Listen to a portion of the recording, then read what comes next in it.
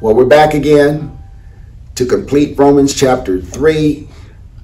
And that was the good news, as I promised. And the good news that we are going to see, open your Bibles to Romans chapter 3, and we're going to start around verse 21. The good news is justification is by faith. In verse 21, it can be paraphrased this way But now, in this age of grace, a righteousness, a new kind of righteousness has been revealed, but not one that depends on the law. You see, today people want a righteousness by the law and by works. But Paul has already proved in the first part of chapter 3 that the law condemns and can never save.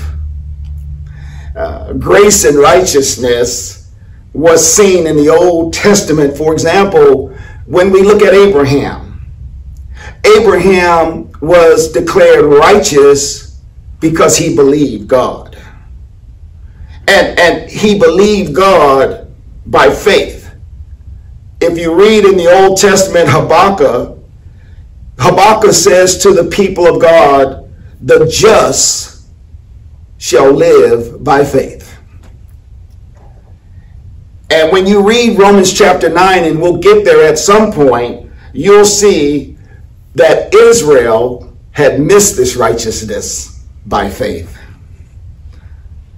You see, as we get to the next verses, chapter, verses 22 to 26, we're going to learn that salvation is available through faith alone and in Christ alone. Notice how often in verse 23 Paul uses the word faith. For all have sinned, he writes in verse 23. For all have sinned and are constantly coming short of the glory of God. Last time we spoke, I talked about all. And we have to ask ourselves, well, who is all?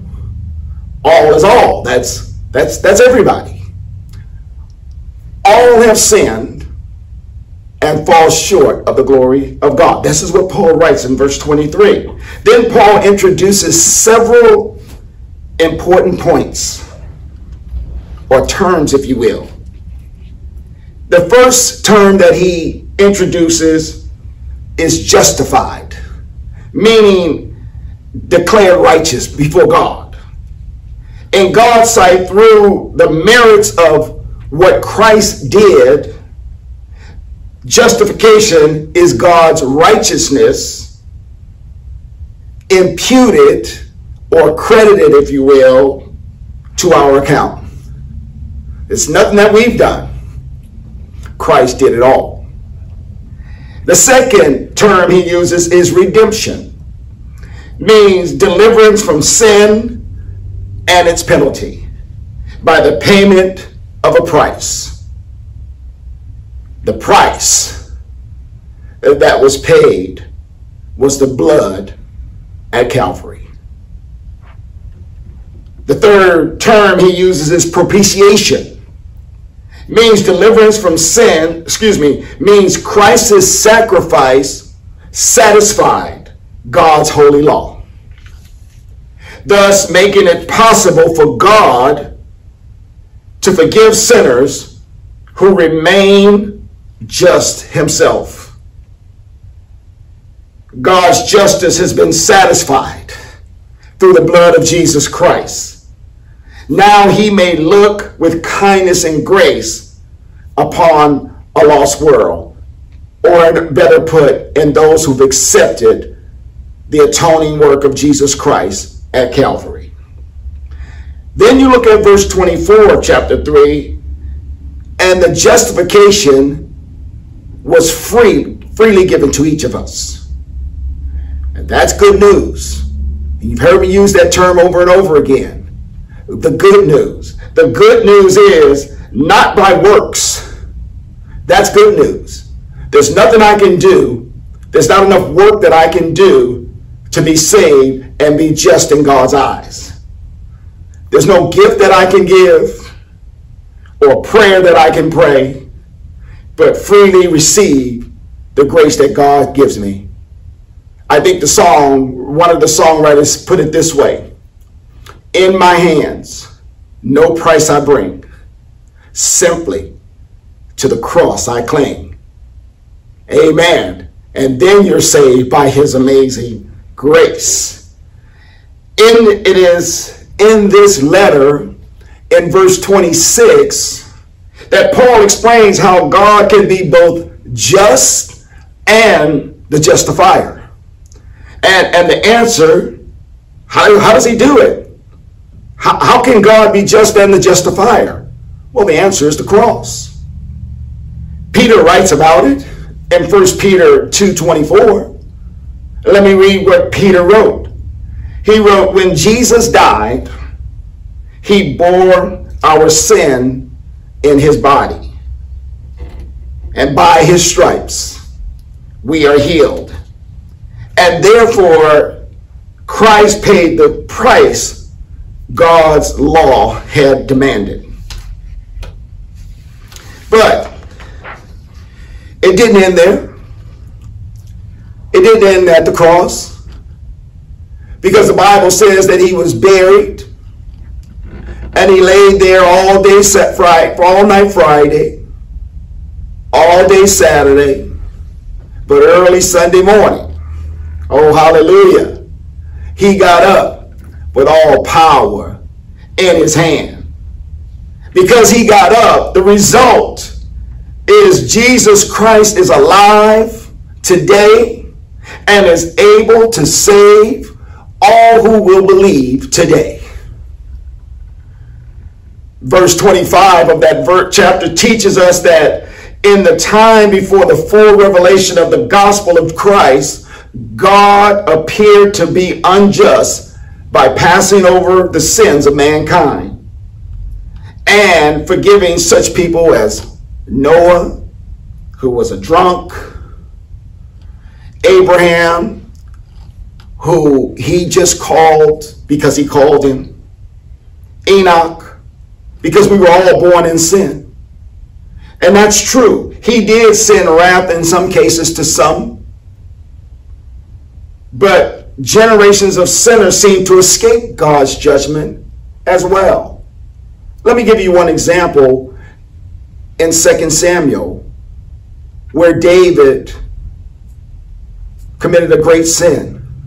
The Bible puts it this way it was when kings go out to war and, and David stayed home.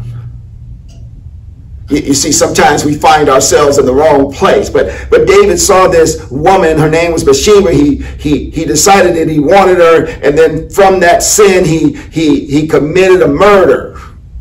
Not only did he commit adultery, and not only did he commit a murder with Uriah, but the law demanded that David be killed. But see, we often look at this, and, and, I, and I want to explain to you before I go to the next point how sin devastates not only a nation, but it can devastate a family as well. You see, Uriah wasn't the only one who died uh, during that war that day. There were other soldiers who lost their lives also not because of what Uriah had done, not because of what the soldiers had done, but what David had done. But God's mercy, even though the law required God, David to, to be put to death, God gave him grace. And that's what we're all under right now, is God's amazing grace.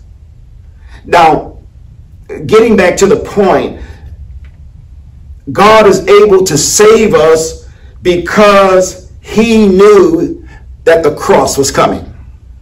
He would give a full display of his wrath against sin, and yet, through Christ's death, provide a redemption for sin that had nearly been covered by the blood of sheep and goats. And you'll read that in Hebrews chapters 9 through 10 when you have time.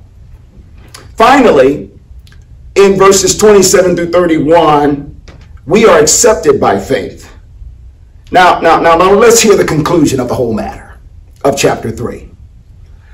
the Jews had nothing to boast of because all sinners are justified by faith and not by the works of the law. So there was nothing for them to boast in. Now, if justification is by the law, then he is a God of the Jews only.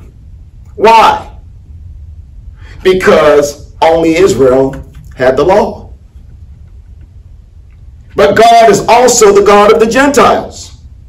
Therefore, both Jews and Gentiles are saved the same way by faith alone, in Christ alone. And this simple, this simple means of salvation does not, and I repeat, does not cancel the law. For the law demanded death for sin. And Christ died for our sins.